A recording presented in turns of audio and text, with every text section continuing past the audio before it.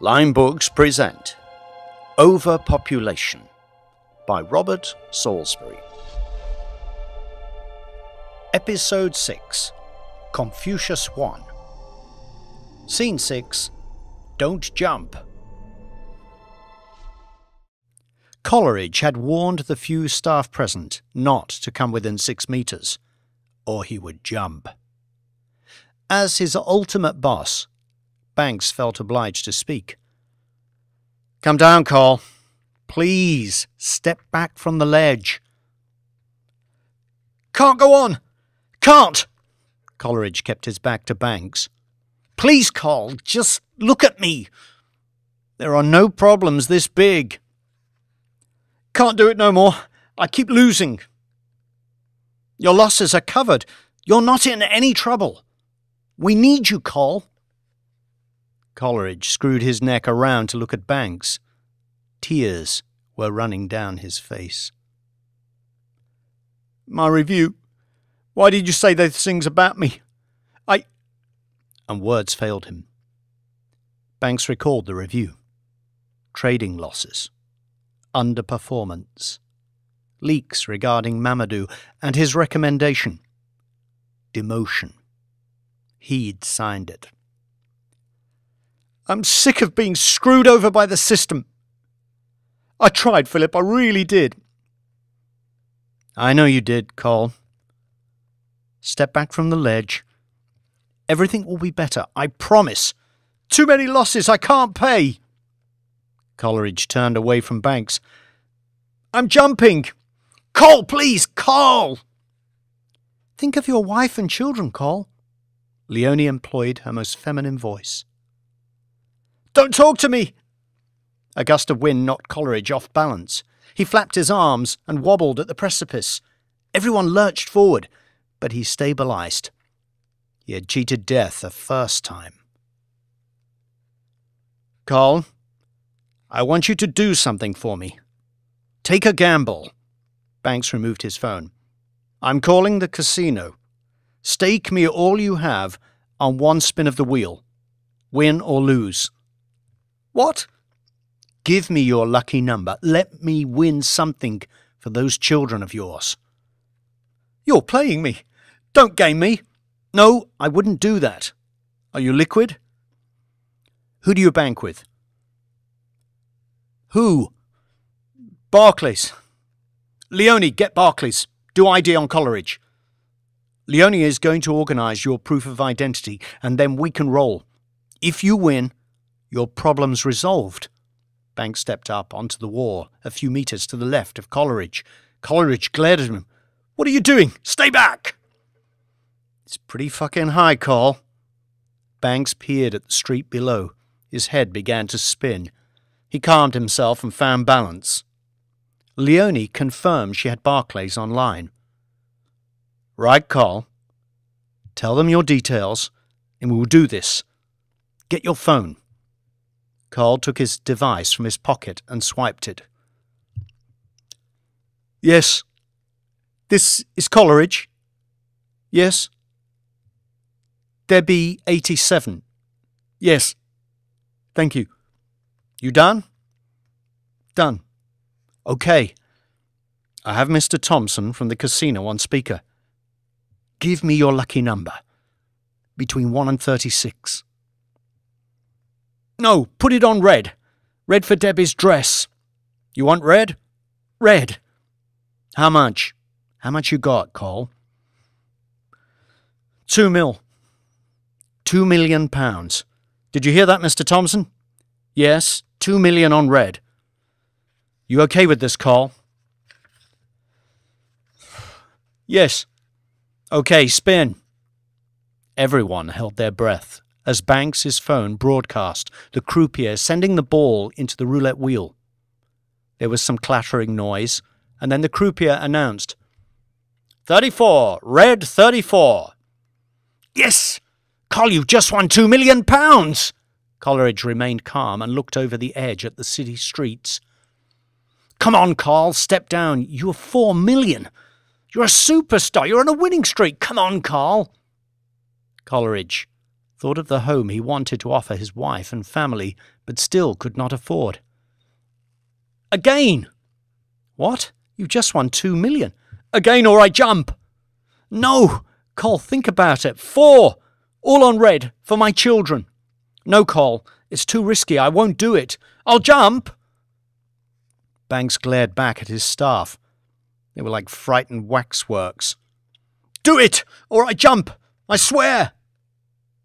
Coleridge turned to face the street and lifted his leg. I'll do it! Okay, okay, Coleridge, please. Mr. Thompson, you heard the man.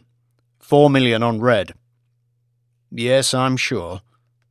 Yes. Confirmed. Four million on red. Spin again. Everyone froze as the sound of the roulette wheel spinning came through the phone. Again, the ball could be heard, careering around the edge of the wheel, then dancing over the edges of each numbered slot. Eventually, it went quiet, and the croupier called out, Nineteen wins, red nineteen. Yes! Cole, you've done it! You, you're a legend! Eight million pounds! It's coming back, Cole! Let's get off this ledge. You've got that winning streak again. Coleridge exhaled and crouched, as though some great weight had been lifted from him. Then, as he stood, his shoe missed its footing and he yelped, Ah! His arms flayed about frantically until he regained his balance. He had cheated death a second time.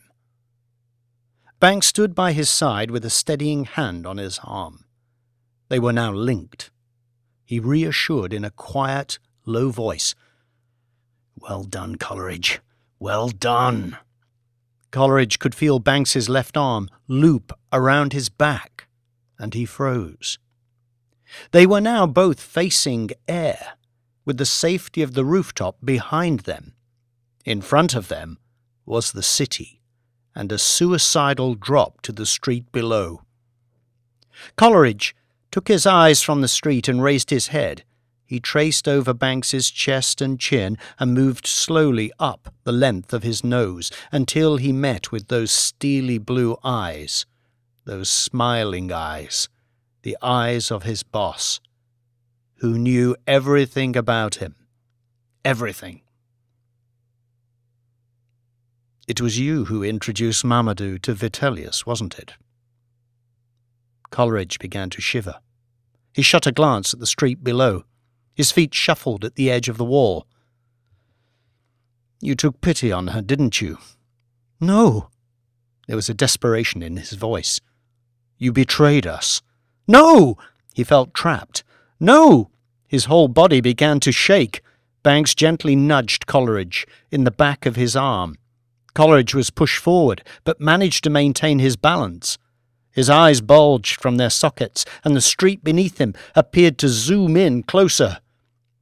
You know how this ends.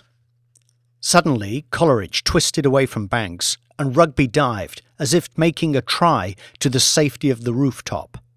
As he did so, Banks was pushed away from him and fell backwards onto the wall. Unable to react in time, his back and skull broke his fall. Instinct took over, and he rolled and clawed his way from the wall to the rooftop. Both men scrambled to their feet. You push me! screamed Coleridge. I saved your life. You pushed my back. You were going to kill me. I risked my life for you, you idiot. Well, I'm not working for this firm ever again. Fine. I'm taking my eight million and bugger off. What eight million? Coleridge froze. You didn't think that was real, did you? Coleridge began brooding. He snorted contemptuously. You cheated! Carl, I couldn't see you. Ah! Coleridge charged at the wall and leapt over. Banks closed his eyes. He could hear the sound of Coleridge screaming, diminishing, until there was silence. Banks opened his eyes. Members of staff were looking over the edge. He pressed his face into his hands and groaned. Leonie approached and laid a hand on his back. It's not your fault. News of Coleridge's jump spread like fire through thicket to co parties in New York, traders in Tokyo, satellite offices in Singapore and Hong Kong. For an industry with Chinese walls, unregulated gossip had a way of spreading. Banks did not stop to think on Coleridge's fall. He had things to do. Grief affects us in many ways. Its gestation may range from instantaneous to eternity. Death of one near raises thoughts of our own mortality. For some, its impact is as subtle as the waft of a butterfly's wing. For others, it is the tempest from an angry tornado. For Banks, it had yet to manifest itself.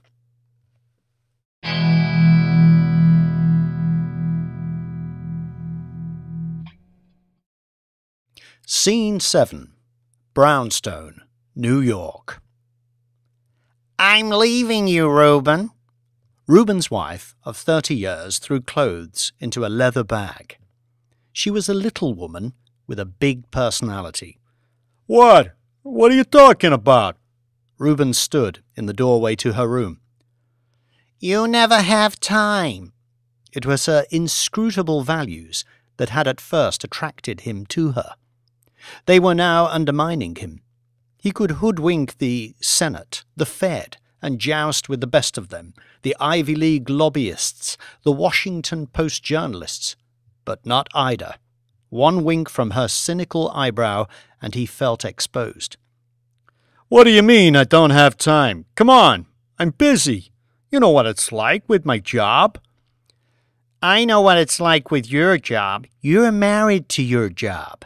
You never have time for Yakov. You never have time for me. What about our dreams? You said we were going to buy a house in Connecticut.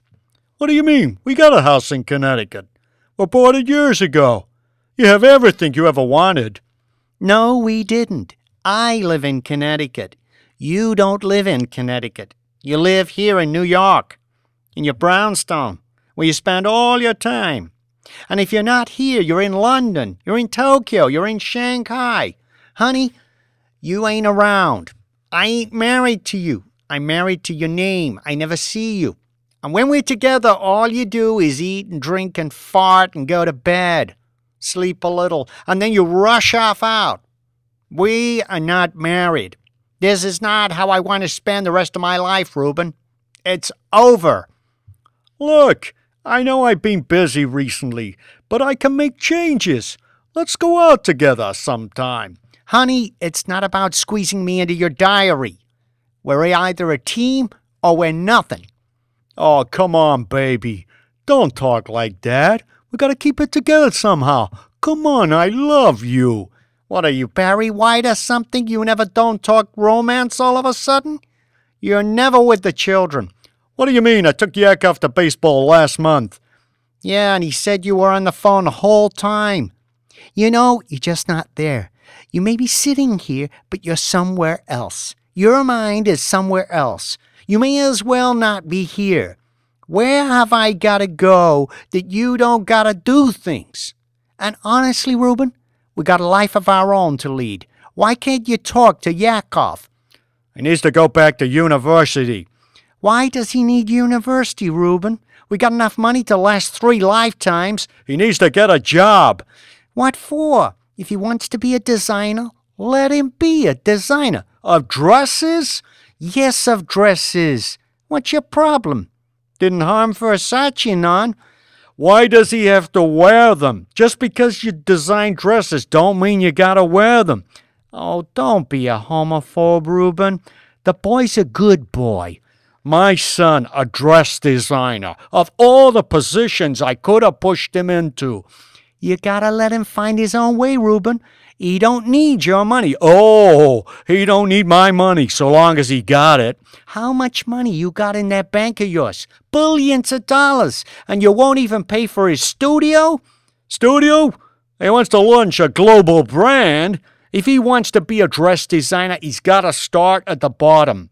Why didn't he stick it out with Yves Saint Laurent? The palms I had to blind to get that position for him. Sheesh! It didn't suit him. The boy's sensitive. Something you wouldn't understand. Oh, it's my fault now. You know the good Lord ain't gonna look away, Reuben. You ain't speaking to that Rabbi Levi again. He's a good man, a wise man. Not like you, Reuben. Tell him I ain't donating no more. He's a fucking crook. Wash your mouth out, Reuben. He's got more in common with Robin Hood than Solomon. Takes my money, then drives a wedge between me and my son. Does he know Yakov's a faggot? That does it, Reuben. You are scandalous. I shake to think what Rabbi Levi will make of this. With her bag full, she marched towards the door. And don't go blabbing your jaw all over town. I ain't coming back, Reuben. The door slammed shut.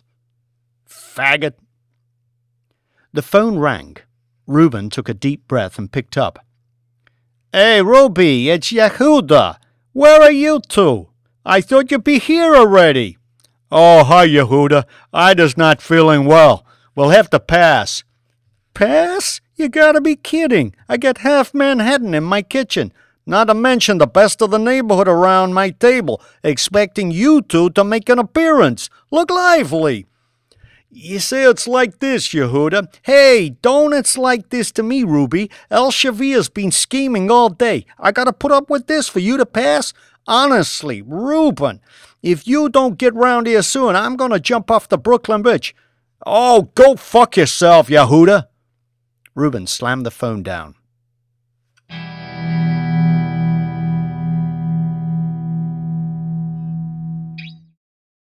Scene 8 Leaves and Never Returns. Reuben's son finally submitted to his father's will and took a job at Morgan Sachs. He was put in the trading department on strict instructions to learn the ropes and not to expect any preferential treatment. A week in, Yakov had adopted a totally different persona. He'd abandoned the role assigned him and assumed control of his own team. In spite of his father's directive, no one dared to challenge him, and he took over the office of his immediate superior. Yakov had just finished in the gym when Tito arrived in his office. You wanted me, Mr. Segal? Yes. Tito, come in, sit down. It's about your team. What about them, sir? The figures are abysmal. Fixed income are beating you again. Fixed income got twice as many traders. Don't be fucking clever. Your team is falling behind. Somebody ain't pulling their weight. Now, who in pulling their weight? I don't know, Mr. Segal. Yakov shot from his chair and stood up. Honestly, Tito, with figures like these, I want to punch somebody in the face. You know what I'm saying? I want to really bang their fucking lights out. You know what? Fuck. Hey, you know what? Get that lowlife loser Menkel in here. He ain't do no business. I don't get it. Yeah, well, I'm fucking serious. Get Menkel in here now. Now? Yes, you fucking moron. Now go get him. All right, all right, cool it. Tito left Yakov's office, and as he did so, Yakov could be heard screaming, Man, I'm gonna fucking do it! Which sent terror across the trading floor. Twenty seconds later, Tito escorted new trader Menkel into Yakov's office. Hey, who's this? This is Menkel, sir. Menkel, right. Yeah, Menkel. What are your sales figures like last week? Huh? What are, what are your sales figures? Come on, tell me. Come on, come on. Fucking spit it out, man. Uh, what? Uh, month to month? I ain't got time to waste. Fucking tell me what you did last month. Sir, I, I did 383,000. How did you settle alongside your competitors, huh? Huh? You topped the team? Your name on the trophy? You got a gold star? Where's your fucking badge, huh? Come on, you fucking nanus. What are you doing here? Tito asked me to. You are here so I can teach you a fucking lesson. Come over here. Get, get, get, get the fuck over here. I'm here, right here. Stand here now. Shut your fucking face. Don't say a fucking word. Tito, take off his necktie. Tie his fucking hands behind his back. Come on, tie his fucking hands. Tito began taking off Menkel's necktie, but was reluctant. I don't know about this, sir. It's a it's a silk tie. I don't care if it's a fucking silk tie. I'll buy you a new tie. Take his fucking necktie off. Tie his fucking hands behind his fucking back. Tito tied Menkel's hands behind his back. You got him good? Good, sir. His hands tied? Yes, sir. Can you move your hands?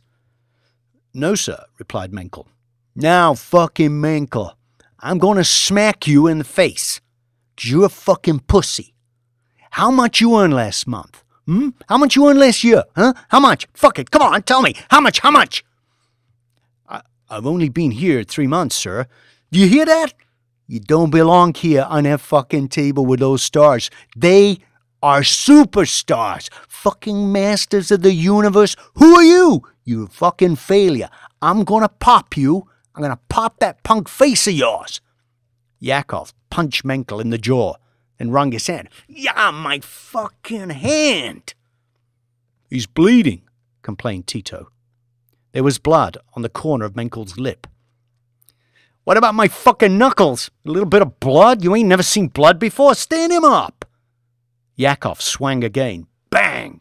As hard as he could into Menkel's face. Menkel groaned. Fuck, that felt good. Come on, fucking stand up, man. Stand up. Do you want this job or not? If you don't stand up, I'm going to make sure you never work anywhere in this city. Stand up. Take your punishment like a man. Yakov swung at Menkel's chin. Blood splattered across the floor from Menkel's lip. Menkel shook his head and muttered, Boss boy! beneath his breath. Say what? You fuck? Yakov punched him again and again. Bang, bang, bang. Suits rushed into the office and jumped Yakov, then dragged Menkel out of the office. Once Menkel had escaped, the suits exited, leaving Tito alone with Yakov. A smile spread across Yakov's face. Did you see me? That felt fucking amazing! Pop! Yeah! Fucking still got it! oh, I gotta do this more often. I gotta do this every fucking week.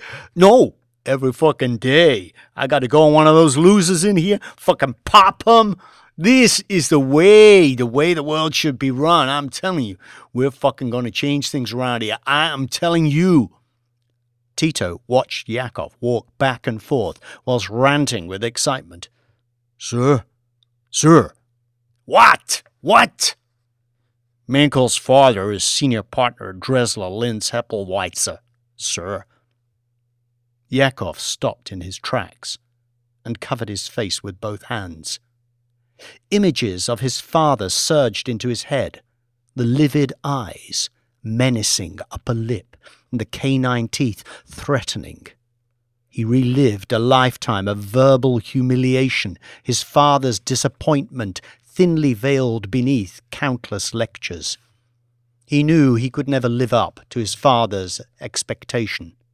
He did not have the, his diligence, his drive, his aptitude, his interest, his obsessive ambition. He was, as he had so often been told, a wuss a loser, a deviant. He spent his upbringing consumed by jealousy for his sister and her friends, dressed in their ballet costumes, dancing beautifully to pretty music. How could he explain? It had twisted and contorted his feelings, the concealment, the hideous affliction of his secret fetish. The box he kept beneath the floorboards he felt as unloved and sour as an unripened plum, and no one hated him more than his father, whom despised all he loved. Why didn't you tell me? Tito sensed a mysterious pity for his callous boss, but was neither able to or inclined to offer him any comfort. Yakov, turned through 360 degrees, crumbling like a sandcastle caught by the incoming tide, shrinking from the outrageous Dr. Jekyll back into timid Mr. Hyde. His voice cracked. Why didn't you say? Tito felt the silence, like the hollow of the Grand Canyon opening up beneath his feet. Sir? All emotion drained from Yakov's face. He stiffened, and though Tito did not realize it, he reached a conclusion that resolved the dilemma of every haunting minute of his miserable adult life. I'm leaving. He picked up his jacket. You didn't see me today. He headed for the door. I never came in. Tito stared at the space vacated by Yakov. It appeared to wave a tattered white flag, like the end of an era. Yakov leaves and never returns. Yakov leaves and never returns. Yakov leaves and never returns.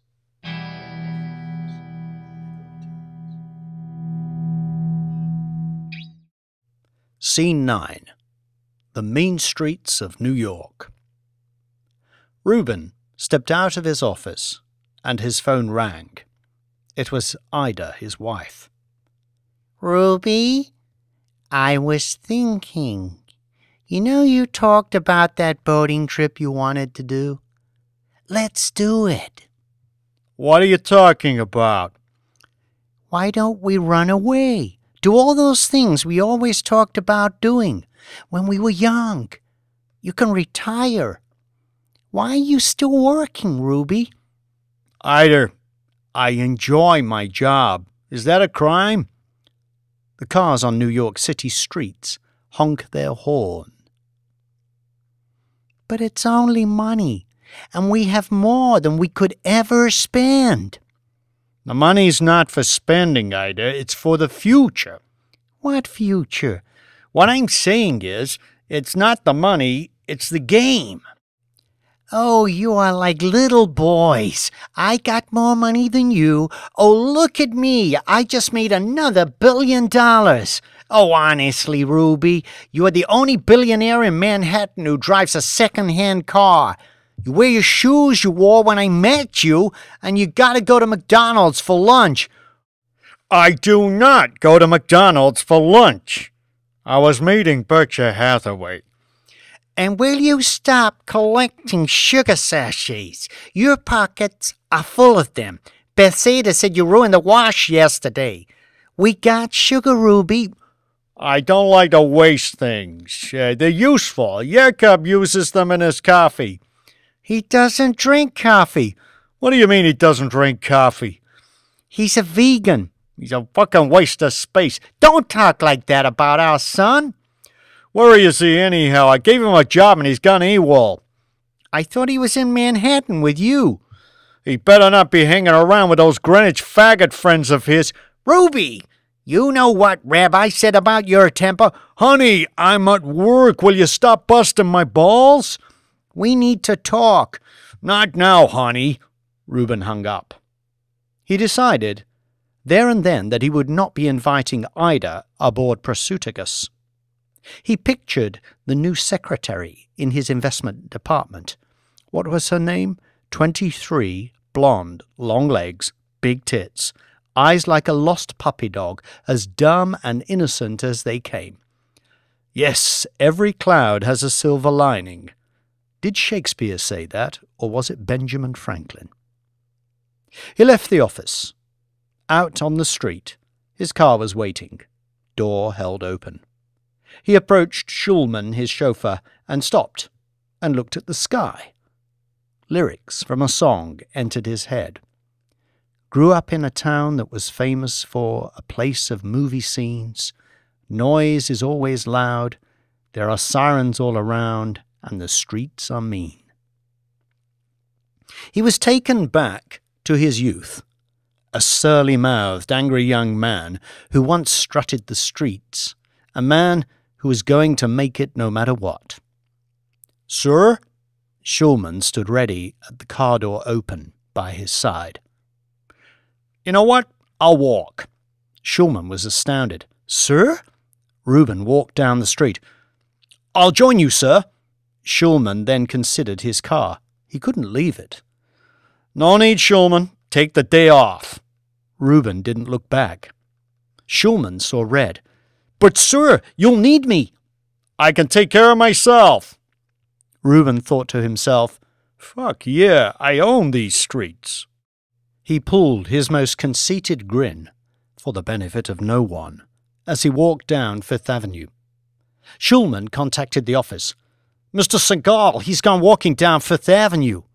Schulman had to move the car, which was pointing up the avenue. After ten years' service, his perfect record was now under threat. Reuben took in the air.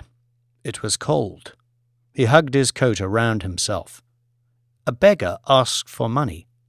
He looked back at him, blankly, and continued walking.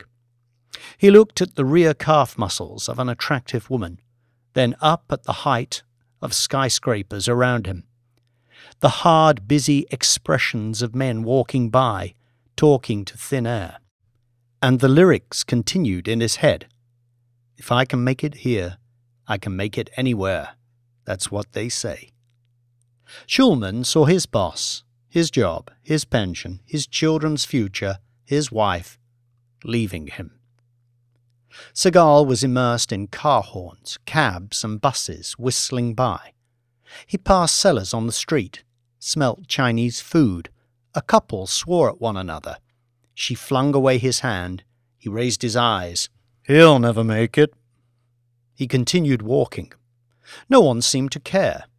He had become anonymous. Shoppers with designer bags, people rushed, pushed, crushed across the avenue, traffic stabbed forward, testing spaces, drones above them carried deliveries.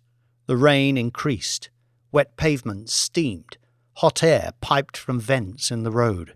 Neon advertisements, peddled shows and cars and junk food, while a gaggle of twenty somethings laughed and shoved one another, young and beautiful, using their own language.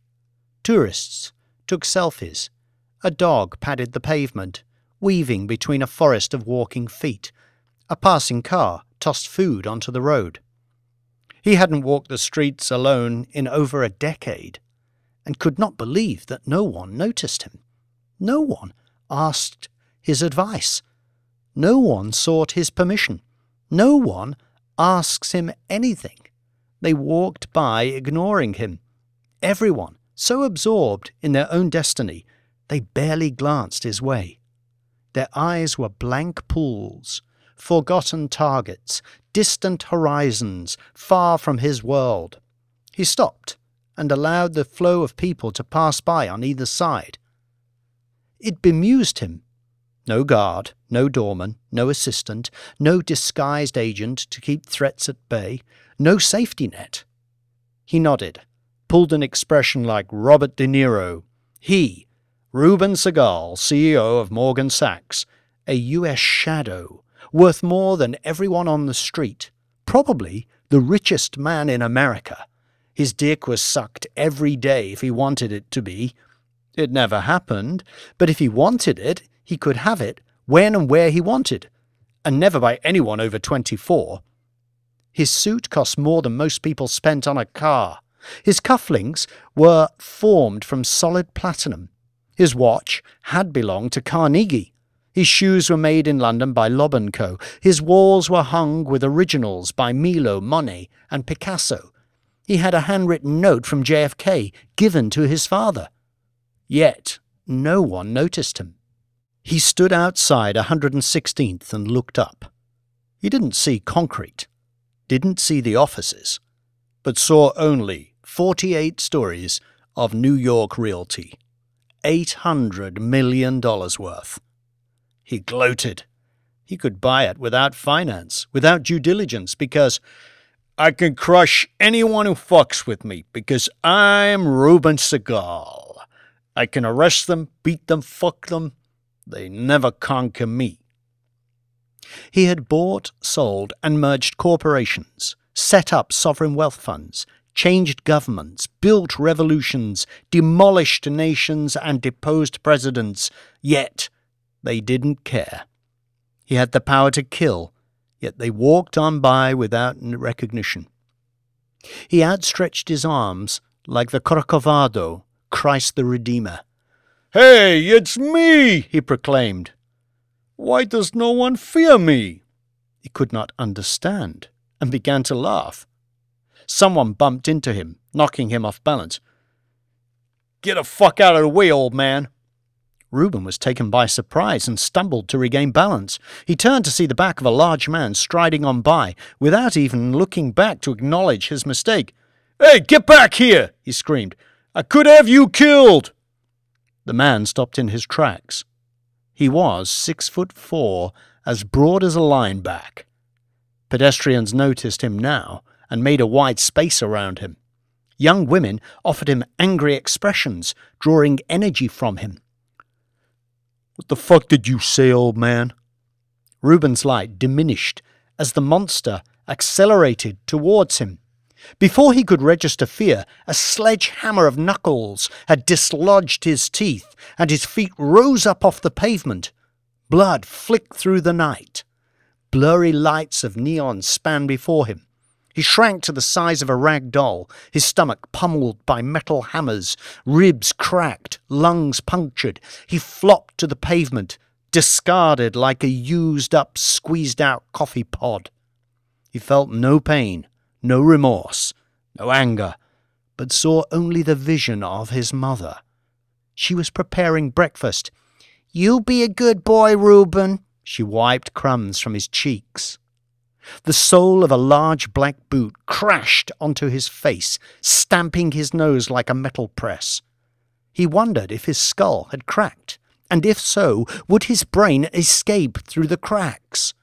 Another big fist crashed into his eye socket, causing his tongue to shoot from the back of his throat. His arms flayed about ineffectively.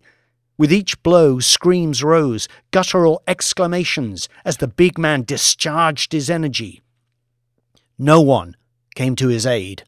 No Schulman, no bodyguard, no agent in grey to enforce inequality.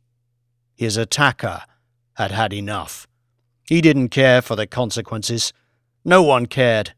He would extract justice like he was juicing an orange, even if it killed him.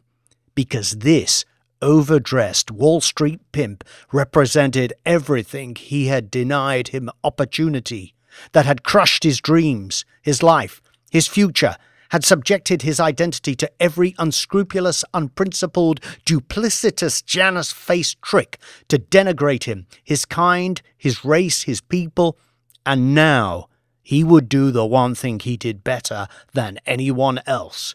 He would fuck it up. They had destroyed his life, now he would destroy theirs. Another steel toe cap tested Reuben's stomach. Do your best, Reuben, his mother said.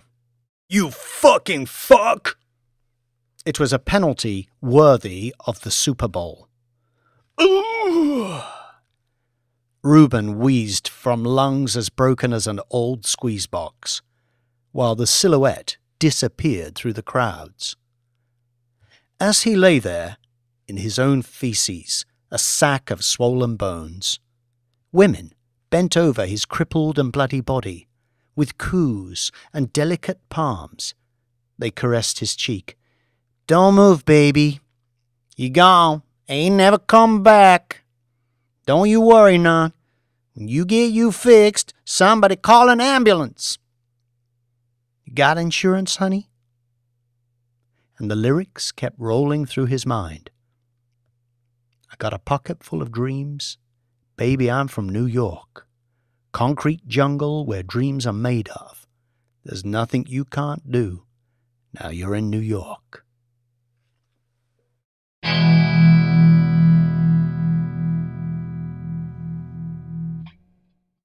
Scene 10 Operation Vitellius Third Move.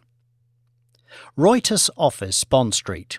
Chief editor of Global News Danny McQuirk had assembled his key journalists, the cream team.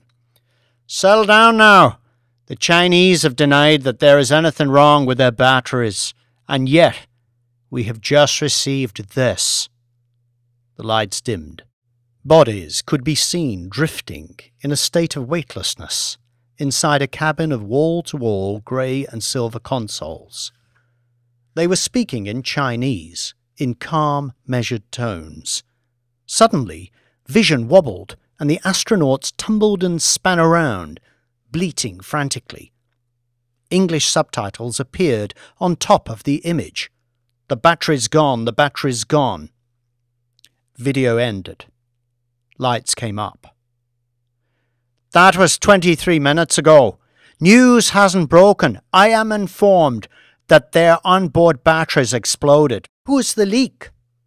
Glad to see you ask, Lynn. Bad news for the Italians. Spino is in Milan. Ready outside Volta Spazio. Jennings, I'd like you to hook up with him. Nail Volta Spazio on their batteries. Lynn, monitor everything out of China. Ask questions. The moment they comment, I need to know. And people, syndicate. I'll get on to Time Warner and the Beeb. Nivian, I need a strap line. Oh, we could kind of like run with Beijing, we got a problem type angle? Good.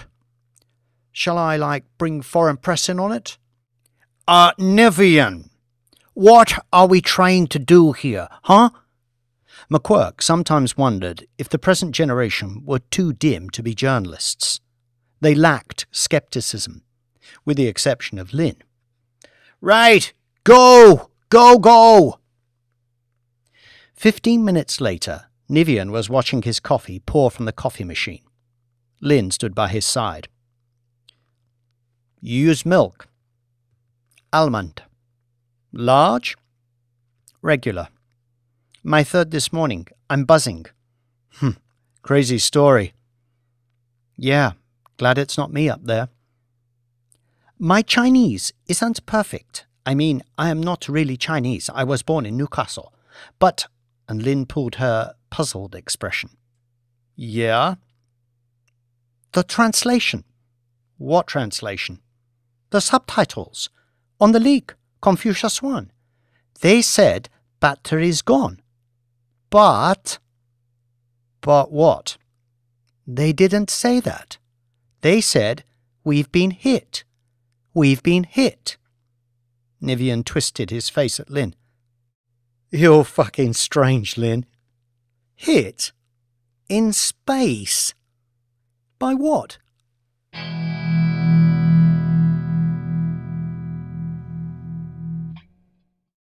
Scene 11 Operation Vitellius.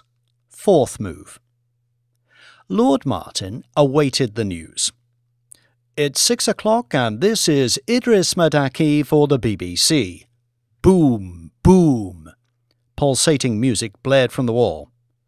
Explosions aboard China's Confucius 1 threatens the lives of 13 astronauts. For more on this, our correspondent in Tampa, Florida, Leon Robinson. The screen changed to a head and shoulders shot of a suited man standing on a large, flat, open concrete runway in front of a big blue sky. Upgraded just months ago, the batteries aboard Confucius 1 are now at the center of this life and death struggle for 13 astronauts aboard the Chinese space station. Here with me is former NASA Head of International Space Communications, Colonel Manfred Hocht. The shot widened to include a middle aged man in a plain jumper with a bushy brown moustache. He was Texan. You have spent considerable time in space. What do you imagine those Chinese astronauts will be going through right now? Thank you for having me, sir. I imagine that they will have procedures which they will be going through, checking things like a list. You know, life on a space station, there are always things to do. In the event of an emergency, they will revert to those procedures of which they will be very well rehearsed. I don't imagine they will have much time to stop and consider anything much else. Lord Martin stopped the news. The wall went blank. Hmm, something isn't right.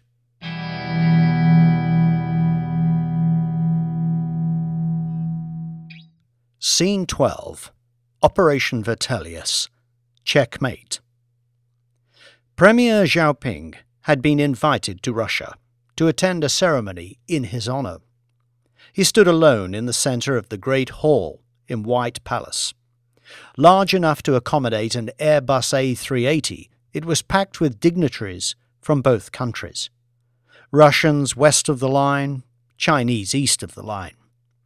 The red line being a carpet that ran down the middle of the hall with Russian guards standing along its length, Premier Xiaoping stood alone in the middle beneath the giant red pumpkin shaped lantern which hung from the ceiling. The Chinese present regarded the lantern with deep suspicion. Lanterns should be hung in pairs to balance out the elements of fire and water. The Russians had built one lantern the size of a house, and it was currently hanging directly above the Chinese premier. This made the Chinese nervous and question the motives of their host. The Russians sensed something wasn't right, but were unaware of the cause. News of Confucius I had only just reached Xiaoping. He was furious, but contained his fury beneath an impenetrable facade, which raised no alarm as the entire Chinese contingent projected an equally vacuous countenance. He was vexed because he had lost the deal of a century, the purchase of West African Water Incorporated, Warwinks, lost because he had put all his faith in a partnership with a stupid Italian who had put all their efforts into a fictitious computer character known as Mamadou. The deal had begun to unravel, and the discovery that Mamadou had been deep faked.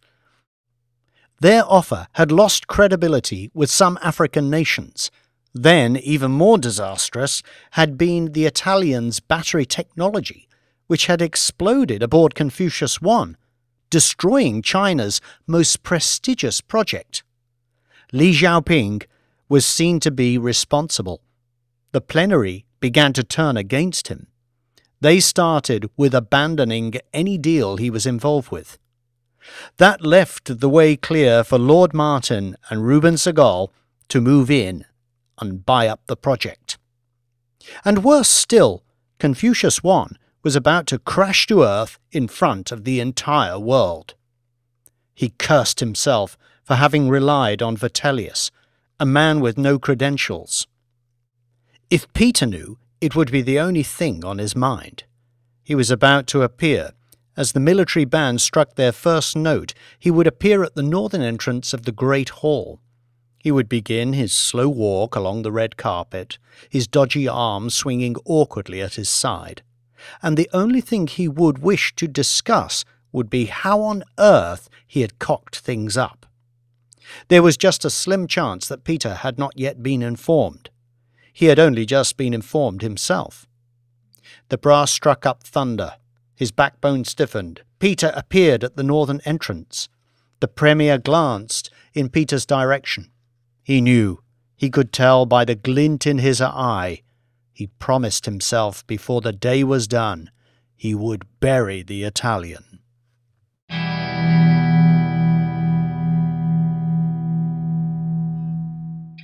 Scene 13 Confucius I to Earth. Lord Martin had made a rare visit to DeLonge Martin offices where he had summoned Billy and Banks to his private boardroom.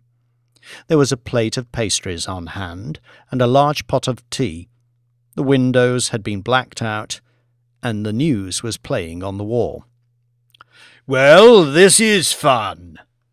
Boom, boom, this is Idris Madaki for the BBC. I'm here in the Indian Ocean, where Confucius 1 is expected to hit any minute soon. Madaki just happened to be aboard a British ship, in a safe location, yet close enough to the spot where Confucius 1 was to make impact. Confucius 1 is on her way. The camera pointed at the sky, but nothing could be seen. Chinese authorities still maintain there is nothing wrong with their batteries. The camera caught a silver speck in the sky and zoomed in. It grew to the size of a small train hurtling towards the ocean. Here she comes! Whoosh! It made impact with the ocean and created a massive flume of steam and ocean spray. The camera pointed to the sky to take in the mushroom cloud created. Madaki's face filled the screen. He employed a gentle, level tone. A very sad day for China's space ambitions. This is Idris Madaki reporting for the BBC somewhere in the Indian Ocean. The screen went blank and all windows eased to daylight. Tremendous! exclaimed the Lord. Billy cheered. You don't seem impressed. Banks looked sombre. This means we have war wings under our belt. There were astronauts aboard. Oh, don't be like that. We did not bring down Confucius One. Spyron did. Banks did not credit this with a reply. I have news for you, Philip. Tinai has found Zara. Really? Where is she? Oh, don't worry. She is fine. She is perfectly all right. But where has she been? She is safe. All will be revealed, but first, follow me. Banks looked about himself and checked his phone. No messages. The Lord left the boardroom with Banks trailing behind. They took the lift to the ground floor. They passed through security and walked into the street. Lord Martin's security swarmed around them at a discreet distance. Banks stared at the Lord, unable to maintain his patience. Please, my lord, tell me where Zara is now. I will. I know you must be missing her. She is your sweetheart. But first, let me ask you something. Look at all these people. They were being passed by pedestrians, going about their business, unaware of who they were. Look at them. Businessmen, businesswomen, parents, young people, hundreds of them. And this is just one street. How are you going to look after that lot, hmm? The Lord prodded Banks in the chest. I want you to assure me that you will look after them, that they will be able to pay for their cars and homes and settle their bills. They cannot fend for themselves. They live in a world where their jobs and livelihoods depend on multinationals who have no loyalty to country or people what on earth is he talking about now? Please tell me where Zara is. When you marry, you will inherit billions from Rashid, who I know has plans for you, which I will match. Furthermore, if I do succumb, I will see to it that the pair of you, as happily married couple, are taken care of. The Lord could see that Banks was unable to concentrate. He smiled. She is waiting for you at your home. Thank you, my lord. Please excuse me. Banks turned and fled. Before he could make the basement car park to find his car, his phone rang. It was Zara. Zara! Zara, is that you?